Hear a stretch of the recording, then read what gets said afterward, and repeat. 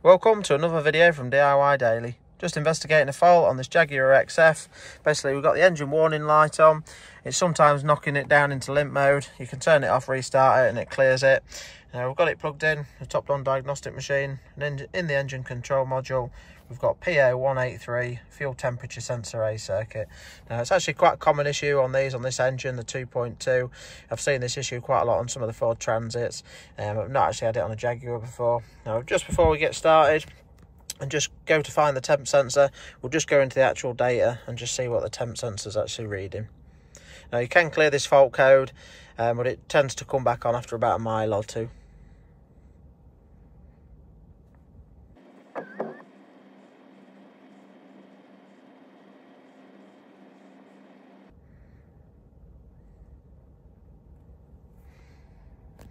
As you can just see, we've gone into it, gone onto the voltage and the temp sensor. You can see we've actually got his 5 volt feed there. Just the ignition's on at the minute.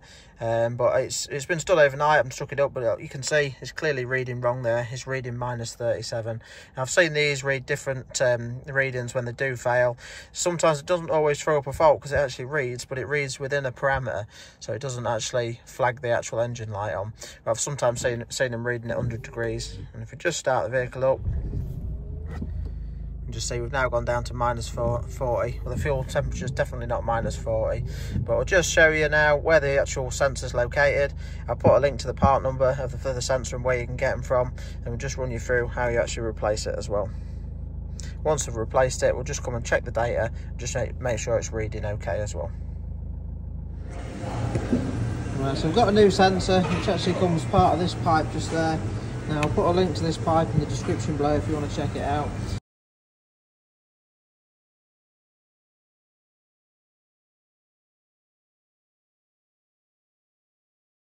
um, but just coming under the bonnet with the engine cover off you can just see the sensor in the pipe which is just located just here which is obviously quite easy to access but the pipe does run all the way down and tucks around the back of the engine so fitting it might be a little bit awkward.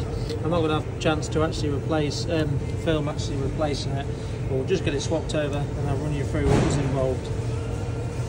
Once we've got it all fitted we'll then just check the data and just make sure and just see what it's reading uh, just a quick update midway through it. Um, basically strip the scuttle off, which that's not too bad to get to get off at all. Um, but the pipe comes round the back, and you can just see the fuel pump just located at the back here. Now it's got this solid cover over the top, which just cups right over the top of the end of this pipe, which makes it real awkward to get off. Um, but basically, this this cover is held on by two bolts, one this side and one that side, which are quite long, which come from the back and through. You can access this one quite easily and get that out but this one on this side is really tight.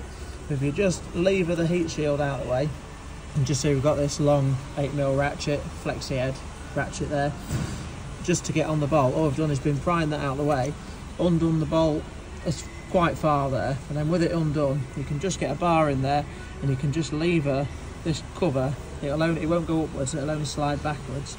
If you just lever it backwards it will just should just leave enough room to be able to get the pipe out and then just feed the other bit of the pipe through there. So just sort of update with that one because just to get this fully out of the way that bolt there is about that long which is going to be really awkward. So as long as we can get it out like that we'll just update it shortly once we've done it. And just see if you can lever it there or just in there you can sort of just get enough clearance so we'll try and get it out of that.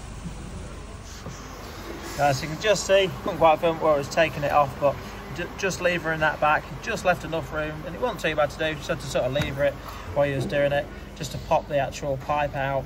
And then you need to sort of just pry it apart of this piece there just to get the actual pipe through as well. Um, but that's the trickiest part of the job at this now. We should be able to get the pipe all swapped over. Right, so the pipe's fitted now. I've nipped that side 8mm up. Just got to nip the other side back up just to actually get the pipe through it was a little bit tight so I had to undo some of these fittings just to get some of the other rigid pipes out of the way just to feed it through that so I've just left it disconnected a minute just want to put the scuttle all back together but I'll just show you what the sensor's reading with it actually disconnected as well just so you know what the default reading is on the temp sensor Right, so just with the sensor disconnected, we can just see we've got the permanent fault code in there, still P0183. But if we just go into the engine ECU,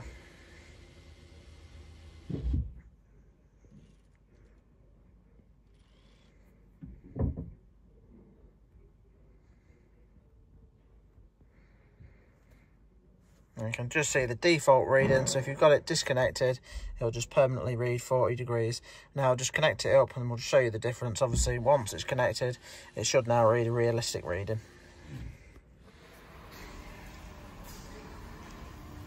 And see, just got someone just to pop the plug on, so it's reading. With it reading correctly now, it's 14 degrees, which is obviously a realistic, correct temperature there. And with that, we'll just clear all the fault codes out.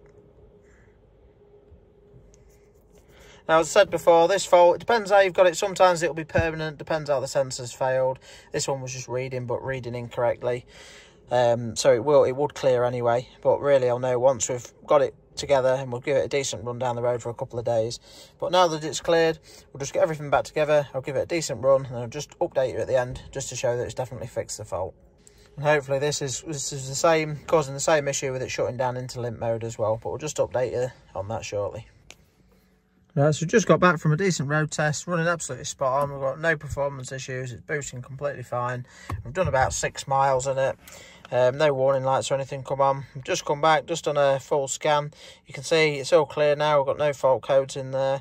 And if we just check the fuel temp sensor reading, just see what it's reading now that a new one's been fitted as well.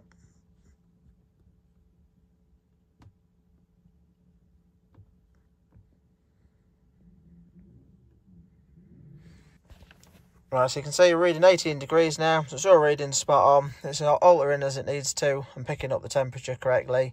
Um, so that was all it was down to, a faulty sensor. Obviously it comes part of the pipe, but it's not too dear. I think it was about 45 quid-ish for a genuine one from Land Rover. But I'll put a link in the description below. Um, but yeah, that's it. Obviously, as I said before, I could clear the code and it might take a few days to come back. Um, but looking at the information, the temp was always wrong. So regardless of that, we know that it's reading correctly now.